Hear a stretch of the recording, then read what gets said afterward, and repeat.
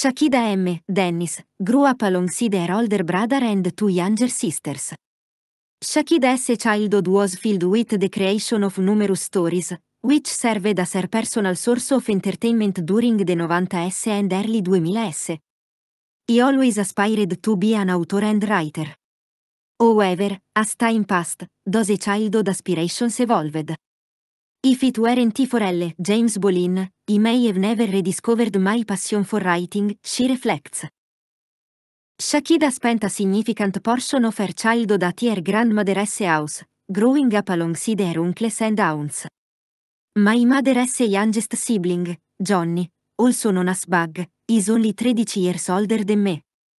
He always considered her more of an older sister. Consequently, he was essentially raised within the cultural milieu of the 70s and 80s generations, and he find my thinking aligns with theirs, she shares. The era was fraught with challenges, including the war on drugs, rampant hatred, and high incidence of kidnappings. These societal issues significantly shaped Shakida's worldview as a child growing up in the 90s.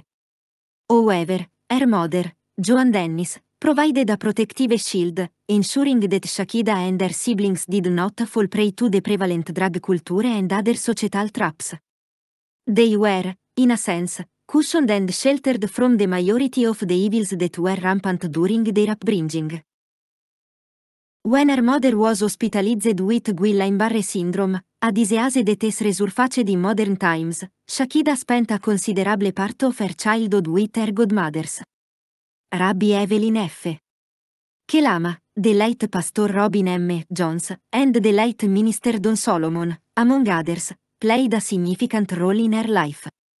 As the leaders and founders of the Crusade for Christful Gospel Deliverance Center ICS, Institute for Creative Science, Ministries, these women have assisted numerous individuals in need over the years.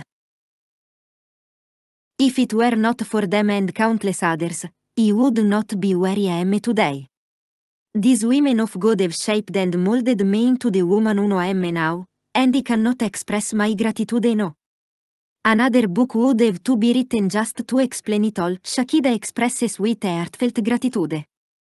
She extends her deepest thanks to Minister Don, Pastor Robin M. Jones, and Rabbi Evelyn F. Kelama.